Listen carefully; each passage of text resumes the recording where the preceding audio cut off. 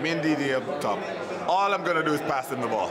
That's all I'm gonna do. You know what I mean? I'm just I'm just here to support. You know what I mean? I'm the captain, and I know my strength, and that's passing the ball to DD. No, I think we've got a good side. We're not too nervous. We trained really well. We moved the ball quick, and we're going to try and do that again on Sunday. But as he said, two big lads up top. They're going to be hard to beat. Four two for us. That's what I think. Good shout, actually. Yeah.